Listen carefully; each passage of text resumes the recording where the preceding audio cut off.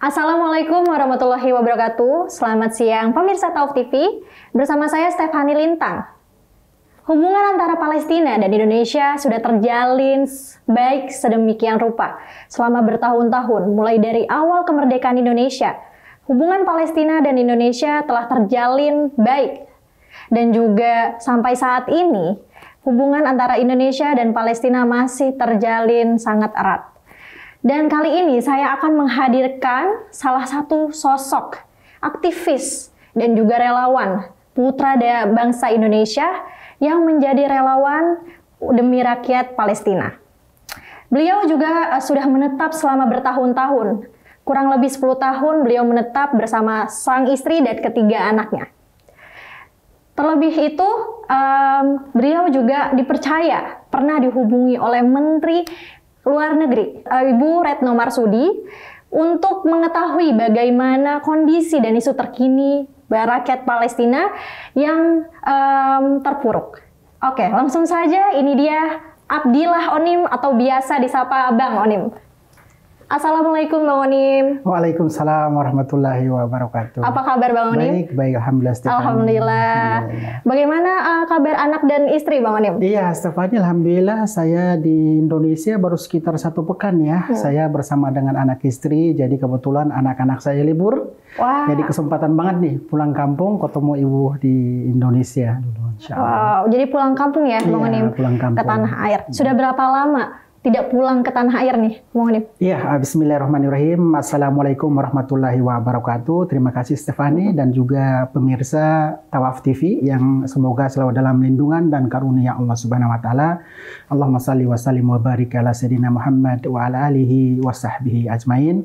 Iya, uh, sampai dengan saat ini tentunya kita ketahui sendiri uh, saya di jalur Gaza itu pertama masuk tahun 2009 setelah itu pulang ke Indonesia dan kembali lagi ke jalur Gaza sekitar tahun 2010. Nah dari tahun 2010 lah saya memulai untuk uh, apa namanya konsen di bidang uh, sosial kemanusiaan. Tentunya Stefani dan pemirsa Tawaf TV mengomi hadiri Palestina murni untuk misi kemanusiaan. Misi kemanusiaan. Baik Bang Onim. Bang Onim uh, bisa diceritakan nggak ke pemirsa Tawaf TV awal mula Bang Onim uh, mengabdi menjadi aktivis sekaligus relawan untuk rakyat Palestina? Iya, Stefani, tentunya kalau kita berbicara tentang uh, seorang aktivis atau relawan, itu mungkin teman-teman di luar sana hanya melihat Bang Onim di media televisi atau di YouTube atau Instagram bahwa Bang Onim menjalankan misi kemanusiaan mungkin sekitar lima tahun. Akan tetapi saya menjadi relawan sudah lebih dari uh, 20 tahun. Yang pertama, Alhamdulillah saya pernah aktif di sebuah lembaga besar namanya Medical Emergency Rescue Committee. Sekitar 13 tahun saya berada di situ. Hmm. Nah untuk di Palestinanya Alhamdulillah saya sudah uh, sejak 2009-2010 sampai dengan saat ini. Jadi memang saya sering tekankan kepada teman-teman Indonesia bahwa untuk menjadi aktivis kemanusiaan di Palestina tidak semudah seperti yang kita bayangkan. Jadi memang membutuhkan keberanian, membutuhkan uh, kesabaran, membutuhkan uh, ketabahan. Karena Stefani kita tahu sendiri ya. wilayah jalur Gaza itu bahasa kasarnya kaki kita satu di uh, kuburan, satu di dunia, satu di hmm. akhirat, satu di dunia. Jadi di sini yang perlu ditekankan itu adalah uh, apa namanya uh, sense of humanity.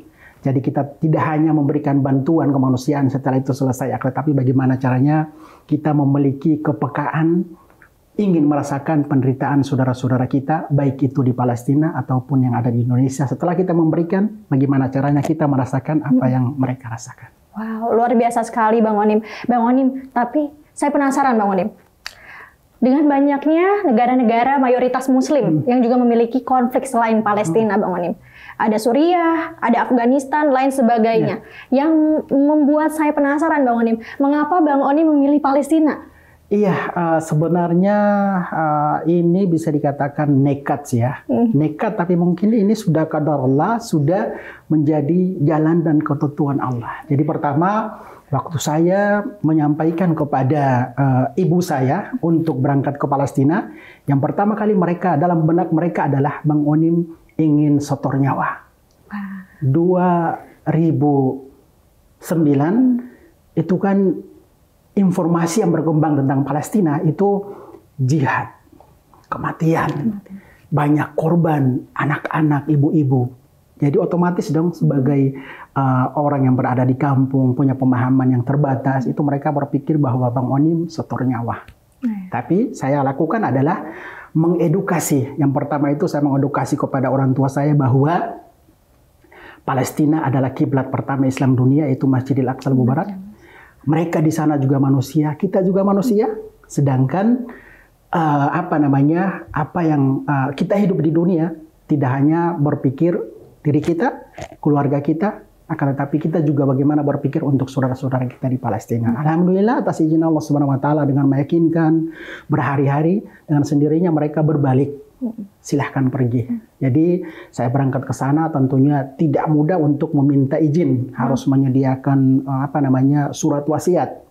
Iya, surat wasiat itu harus kita sediakan kalau berada di Palestina. Kenapa harus berada di Palestina? Karena tentunya ini pertama ya apa namanya isu Palestina ini kan uh, kita tahu sendiri lah isu Palestina ini adalah isu global.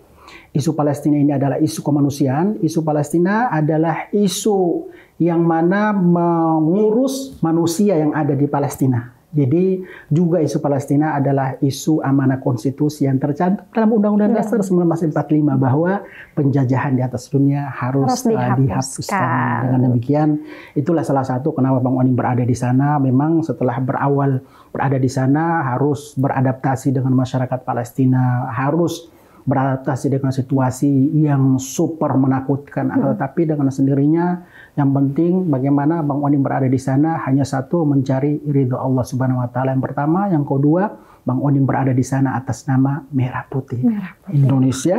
Indonesia. Itulah salah satu memang uh, apa namanya yang harus dimiliki oleh aktivis di dunia termasuk yang ada di Indonesia. Jangan sampai kita datang ke sana terus tidak mengetahui tentang situasi politik yang ada di sana yang pada akhirnya dengan sendirinya kita terlibat dengan satu golongan Padahal kita berada di sana atas nama bangsa Indonesia. Ya Bang Odim, wow luar biasa sekali ya hmm. perjalanannya untuk uh, restu dari orang tua hmm. Bang Onim untuk pergi karena tidak mudah ya eh, Bang Onim menjadi aktivis dan relawan dan juga ditempatkan di Palestina, Palestina negara yang konflik. Konflik sekali gitu. Kita semua tahu isu-isu konflik uh, sudah banyak di Palestina gitu.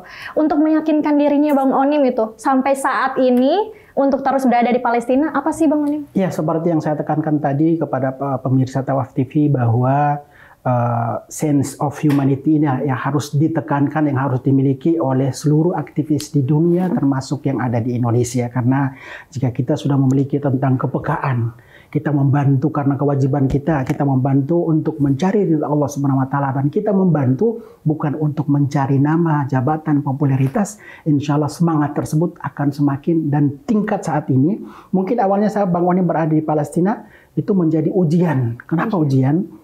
Bang Oni berada di Palestina di wilayah konflik yang tentunya akan dilirik juga oleh pihak Yahudi, dilirik juga oleh hmm. pihak pejuang Palestina, dilirik juga oleh pemerintah Palestina bahwa seorang warga asing Indonesia ini berada di Palestina, misinya apa? Yeah. Jadi memang saya berada di sana itu berbagai rintangan dan tantangan sudah saya hadapi. Sering juga diinterogasi oleh pejuang Palestina, sering ditangkap oleh para militer Palestina karena mereka melihat salah seorang warga asing yang sangat apa namanya sangat aktif dan bisa ke lokasi dengan semaunya. Itu mereka juga tentunya berpikir bahwa jangan-jangan mata-mata Israel.